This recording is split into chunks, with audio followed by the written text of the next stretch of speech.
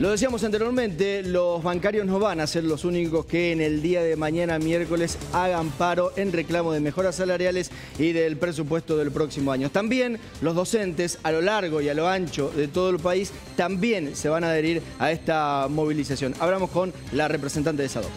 El próximo miércoles vamos a estar llevando a cabo un paro por 24 horas que tiene que ver con esta situación económica en la que estamos viviendo. El Gobierno Nacional, el día miércoles se va a tratar el presupuesto que ha enviado el Gobierno Nacional a las cámaras.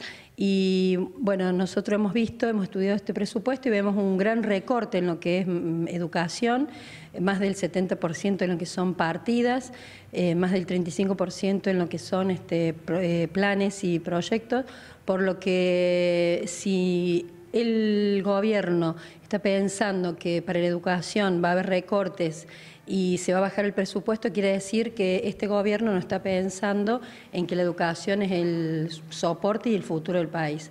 Por lo tanto, los gremios nos vamos a movilizar.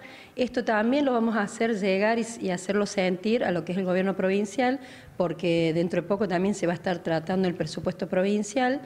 Eh, que estos últimos años también ha tenido recortes y bajas, eh, particularmente a todo lo que es la educación privada, eh, no dando mm, lo que es el, soporte para las escuelas para que tengan el pago a sus docentes. Hay creación de grados, pero no hay dinero del gobierno provincial, por lo que nosotros vamos a estar este miércoles en la legislatura de Córdoba presentando notas a los distintos legisladores y mm, para hacerle sentir, ¿no es cierto?, eh, esto que estamos, claro, y lo que estamos planteando, ¿no?